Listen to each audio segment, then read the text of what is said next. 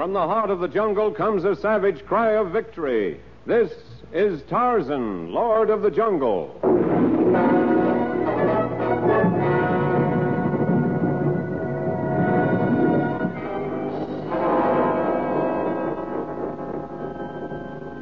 From the black core of dark Africa, land of enchantment, mystery, and violence, comes one of the most colorful figures of all time. Transcribed from the immortal pen of Edgar Rice Burroughs Tarzan, a bronzed white son of the jungle. And now, in the very words of Mr. Burroughs, the story of None So Blind. The floor of the concert hall was a bed of petals from a thousand jungle roses. The ceiling was the starlit equatorial heaven, and the walls were of living fern that grew even higher than the seven foot tall warriors of the Shilluk tribe. The Shilluks wore two huge cones of matted hair on top of their heads, and members of other Kabilas could be identified by egret headdresses, brass anklets, decorative bones that pierced the nose, saucer like lips, and other tribal marks and ornaments. But every member of this strange audience had one thing in common the rapt attention with which they watched every movement of the violinist's bow, drank in each exquisite note of his closing number. And not even in Carnegie Hall or the Conservatoire de Musique had Johann Vermeer given a more inspired performance.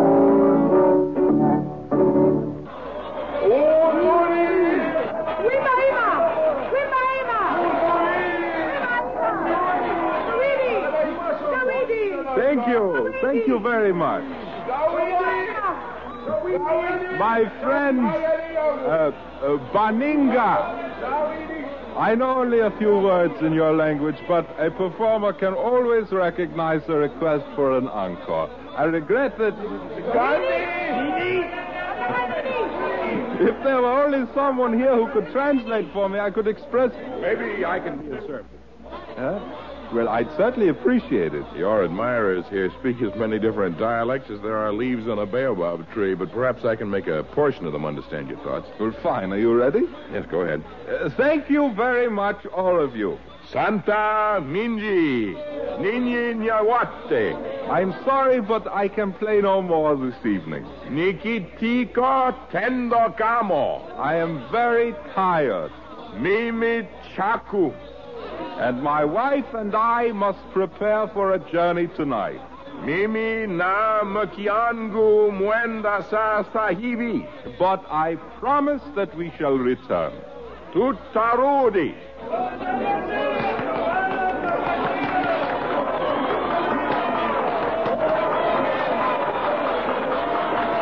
Certainly helped me out of a tight spot. Your speech was a very gracious one, Mr. Vermeer. It was a great pleasure to be able to relay it. Come along backstage with me, won't you? That is, if you can refer to that bamboo lean-to they erected for me as backstage. I'd like you to meet my wife. Oh, that uh, very attractive woman who accompanied you? Yes. It's always very convenient for a soloist to fall in love with an accompanist. Antoinette! Over here, Johann. I'm trying to make these men understand about the piano. Oh, I'll take care of it, dear. The piano must go with us on the train to Kidano. Adaeni Garini. Oh, yes. And I have been yelling myself across. Who is your clever friend, Johann? Huh? I'm afraid I forgot to ask him his name. Je m'appelle Tarzan, Madame Vermeer. Vous êtes français? No, I'm not French, but it was the first civilized tongue I learned. Well, you are a very accomplished linguist, Monsieur Tarzan. You have obtained his services on our trip, Johann? It would be wonderful if you could come with us, Tarzan. I can't speak a word of their language. Oh, now you did use the native word for friend. Well, as a child, I knew a few words, but most of them are forgotten. Your music speaks an international language. I- I'm sure you'll not have any trouble on that score. I hope not. Our trip will take us into more than two dozen small native villages and will be gone for several months. Frankly, I'd planned to spend this spring realizing a lifelong ambition, trying to be a composer. But Antoinette dreamed up this little concert tour. I felt it was his duty. Oh, in what way? Uh, my father was Jan Vandermeer. I shorten the name, as you may know. He founded the great cotton industry in Africa. He made a very substantial fortune, but not without the help of thousands of natives. I'm trying to repay a little of that debt. You see, Monsieur Tarzan, if Johann's papa had not made a great deal of money, Johann might not have become a great virtuoso. And certainly could not have afforded to study in Europe for many, many years. And worst of all, I would never have met Antoinette. Thank you, husband. You're doing a wonderful thing, both of you. So many criticize the natives for their lack of education, and so few do anything about it. But uh, tell me, what, what train have you found to take you to Kidano at this season of the year? A train leaves near dawn on the Kesanya Railway, as I understand. But it has no accommodations for passengers. It carries only freight. It moves slowly through the roughest portions of the jungle. The gentlemen at the Travel Bureau arranged for us to be taken aboard, and we are not afraid of a little discomfort. No, but we are sorry that we shall not have you along for company. There's no chance of persuading you? By dawn, I shall be deep in the jungle, trying to do my part to bring enlightenment to the natives, even as you are doing. Right now, violence threatens to explode at any moment. Be cautious, my friends.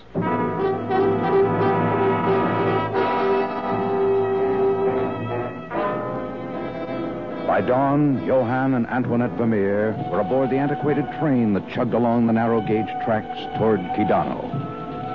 And Tarzan had traversed miles of jungle. He stood in the central clearing of a native village that consisted of dozens of tiny thatched huts. And while children, who would have reached only to his knee, peered from within these dwarfed hemas, he addressed the dignified four-foot king of this aboriginal pygmy tribe. Kapulma, violence is not an answer to the problem that threatens all of Africa. Raids on the white man's cities, the ambushing of safaris, and the killing of their soldiers will, will only invite bullets in return. That's why Kopulmi send for Tarzan. Young men of tribe not see this. By time Kudu the sun, high in heaven's first act of what you say, violence will be done. What sort of an act of violence? In Kidano is many askari of white men. Yes, there's a troop of soldiers at Kidano, but they have made no move against your people. Not have many small arrows that bring death, No, I suppose they haven't much of a supply of ammunition. but Kari bring much ammunition. The Casallo railway train that left this morning for Kidano carried arms and explosives? Nadio, but not get to Kidano. What do you mean? Bridge at bottom great hill, destroyed by young men of tribe. Kipumi, if the train reaches that bridge, two of Africa's greatest friends will die. And all of the Dark Continent may be plunged into war.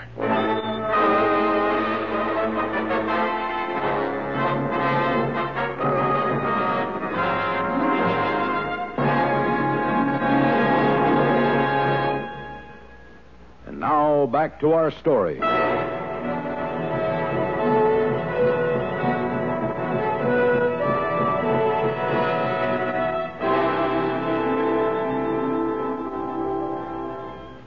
At the bottom of the great hill, that was how the pygmy chieftain had described the location where his warriors had destroyed the bridge. And yet there were at least four great hills on the way to Kidano. Kapulmi could not say which of these it was, but he thought that perhaps he could point out the one if he went with Tarzan on his mission. Following Kapulmi's directions, the right hill was finally located. But even as Tarzan sighted the yawning chasm where the bridge had been, the train emerged from a tunnel and started down the steep grade, gaining momentum, speeding toward destruction. I'll put you down here, Kapumi, and make a dash for it, but I'm afraid I'm too late. Stop! Stop! The bridge is out! The bridge is out! Stop, I say! Tarzan, get off back! You'll be killed!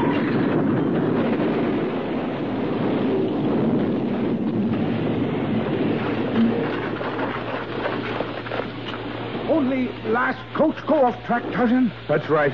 Perhaps you can find out if the engineer and fireman are all right while I see if anyone was in that last coach. If- Someone help! I'm coming, Mrs. Vermeer. You're hurt? Oh, no, not badly, but Johann. Johann is pinned underneath that coat. You stay here. I'll see if there's No, anything I I'm can... coming with you. Johan needs me. He's in great pain. Oh, oh, oh, with you, Tony. It is Tarzan. How did you get here? I We'll save your strength, Mr. Vermeer. Uh, see. Oh, your arm. C- c- can you feel anything in it? Oh, great, great pain. My arm and my shoulder. Might be able to pry your shoulder out, but your arms. What, what can be done? Ah. You, you've got to get me out of here. You can be saved, but your arm. You mean someone will have to amputate? No, no, no. You can't do that. But many men have been forced. Many men. I'm a violinist. I've given my life to my work. You can't cut off my life. That's what you've been doing. Here's the train crew. Tell them I have. There are never more than two men on these crews, and it would take hundreds to lift this coach. E- even if there were elephants in this part of the jungle, there might be a chance. I won't let is- you do it. I'll die first. I won't. Oh. He has fainted with the pain. The decision must be made at once, Mrs. Romero. If we delay too long, it will mean infection and certain death. If you use that knife you carry, there will not be infection? I have a native with me, a pygmy who is unerring in finding roots that make an adequate antiseptic, but nothing is sure, of course. Oh. However, I will do nothing without your permission. Johann will hate me, but I give the permission. I would rather have a live husband than a dead violinist.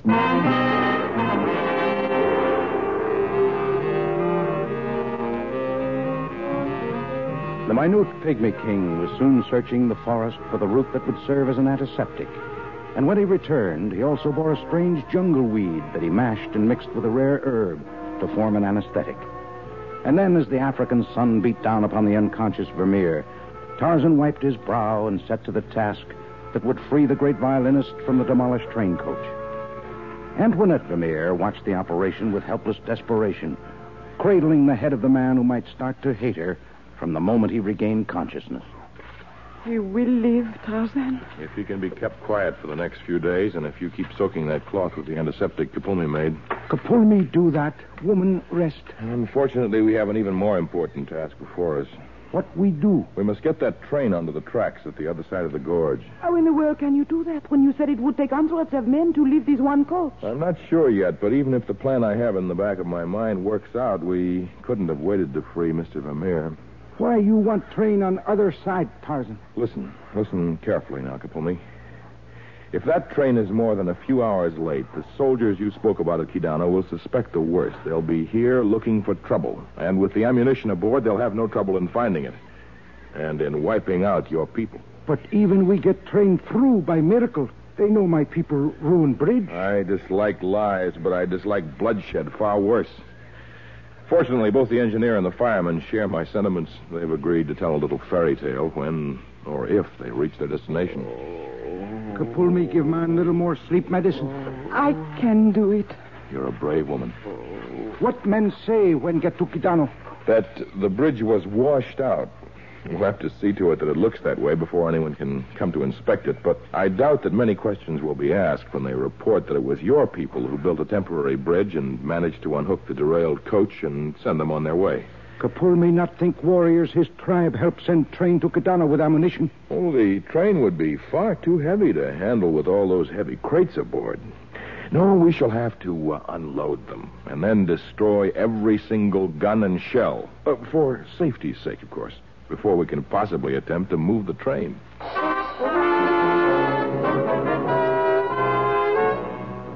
By late afternoon, Tarzan had felled a mighty tree and laboriously hollowed out its enormous trunk. As the sun descended over the Congo, a jungle animal made the next contribution to peace, for its hide, stretched tightly over the hollow trunk, formed a huge talking drum that soon broadcast a message to Kapulmi's people.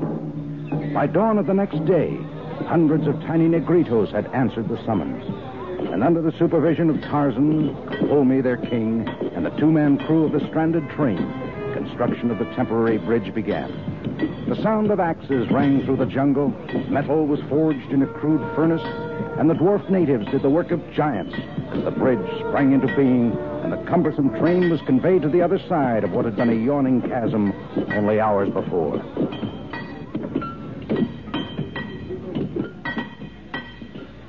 Train. It has left without us. It would be most unwise to move your husband yet. And besides, he might not have agreed to our fairy story. I value his life, but not above that of thousands of Africa's people. I understand, Tarzan. I will make him understand if he questions it. We shall try to nurse him to health, and when he's well enough, we will lead you back to where you gave your last concert. Our last concert. If we had only known it was to be our last. One cannot undo what is past. One can only work for the future. Both you and your husband have serious work to do.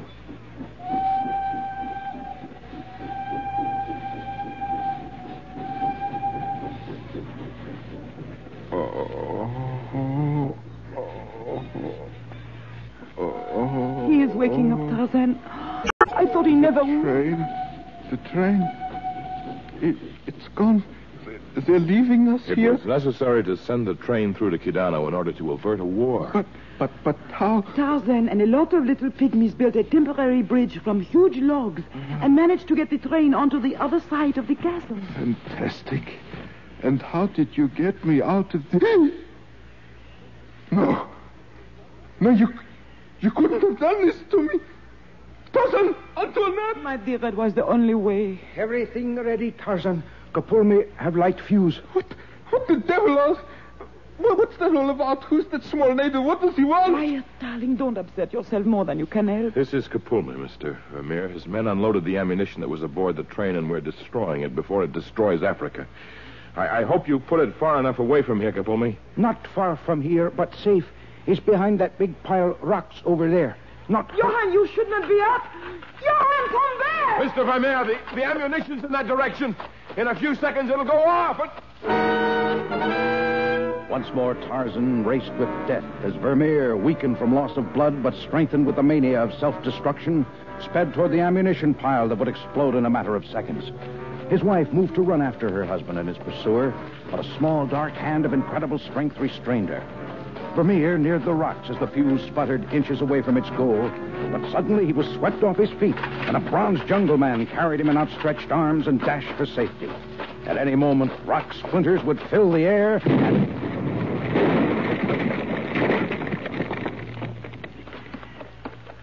Johann! Johann, you are all right. Yes, I'm all right.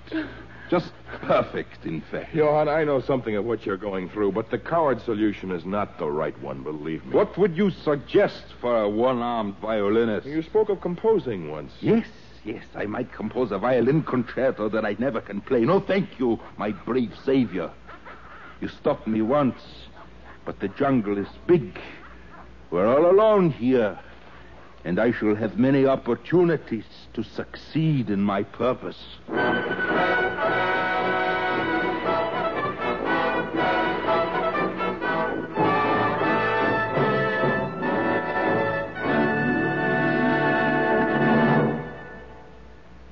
Now back to our story None So Blind.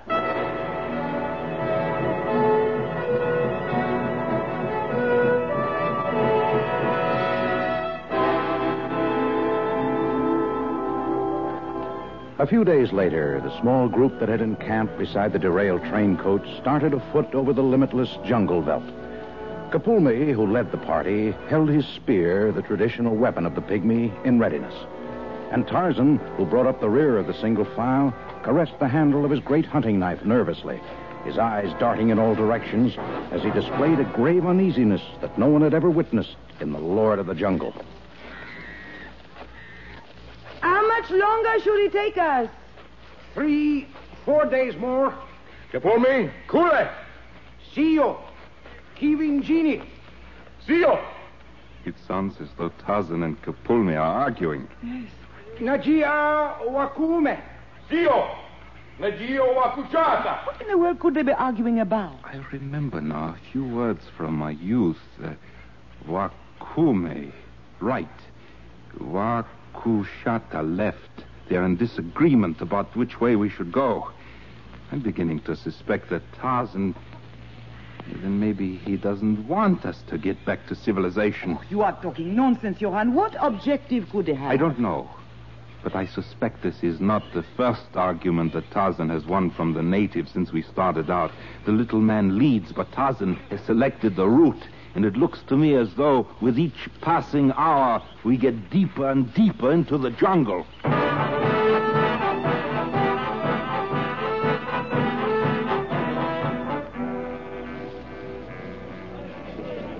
Johann, I know how you feel, but life must still hold something for you. Was not the native village we just left most interesting? I suppose so for those who like sightseeing. Not fall back, Bona. Bibi is land of Kifaru. Who is Kifaru, Tarzan? Pharaohs are uh, rhinos. It's best to avoid them. They make poor household pets. This is all pretty scary, but it is thrilling. No, Johann? The animals, those native musicians with their funny instruments. The dancers jumping up and down on those huge drums and. All right, Tony, that's enough. I'm not interested. My only interest in life is gone. Watch out! Danger! Kifaru! Yeah! Come back, you fool! You're crossing between the rhino and water. A plain invitation to death.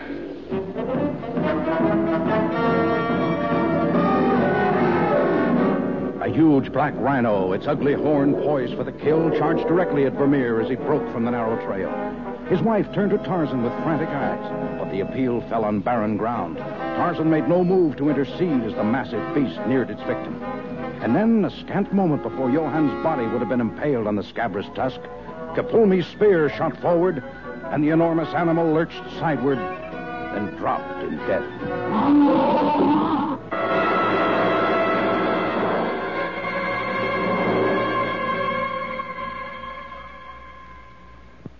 Johann, how can you do this to me? Do you not love me at all that you keep trying to take your own life? You're still young and pretty. You'll marry again. And obviously, he's not worth bothering about, Tony. Oh, you call her Tony now, eh? So that's why the trip that Kipulmi said would take a week is stretched to, to almost a month. Oh, Please, Johann, if Tarzan called me Tony, it was only because he has heard you call me by that name. That's right. Spring to his defense. I've suddenly recalled that he said you were attractive the first time he saw you. You should be pleased. And you encouraged him to join us on our concert tour. Oh, but I didn't accept the invitation. did You I? managed to catch up with us soon enough after the natives had destroyed the bridge. Johann, you are being unfair. It was Tarzan who got you out from underneath the train. He got half me out. But he saved you from the explosion, no? Well, he realized his mistake later, I guess. It was Kipulmi who found the jungle route that was used to ward off the infection. It was Kipulmi who took the lead along the trail. And he who was the one who saved me just now, not the brave Tarzan. I, I didn't have time. But that is not true. Capone was further away than you were. Johann has been right. You have been keeping us from finding our way back. And ever since we started this trip, it has been this small native who has been our protector. I hate you, Tarzan, and if we ever get back to civilization, I will tell everyone you only pretend to be brave, that you are really a coward, a deceitful coward.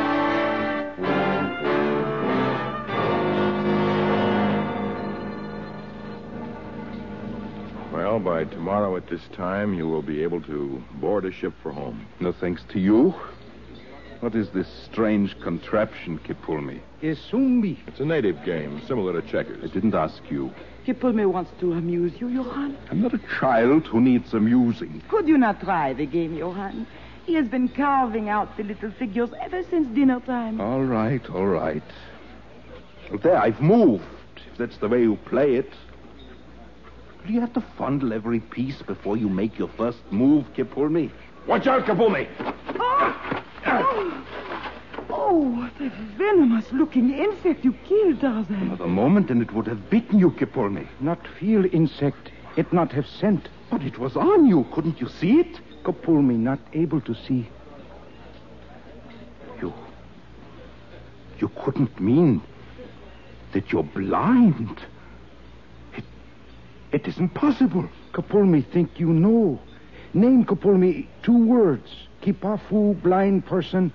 Mafalmi, king. The blind king. But everything you did, leading us on the trail, finding the roots that saved my life, the accuracy of your spear. He lost his sight many years ago, but being a king, he knew that he must learn how to be without sight and still be a leader. He was not willing to quit, Johann. So that was the reason for your every act, Tarzan. You were determined to make me find out for myself the meaning of moral strength. Please forgive us both for what we have said and thought, Tarzan. Gladly, if Kapulmi's example has done any good. What can I say when I owe my life to a four foot king who has no eyes but great vision, and I owe my soul to a man who preferred being called a coward to permitting another to be one? You will come home and try now to become a composer, Johann. My first symphony is already half written in my mind. It contains the weird reed instruments of the Congo, the elephant tusk trumpets, naked feet on huge drums, the clinking of brass anklets, the roar of jungle animals, and the great heart of all Africa.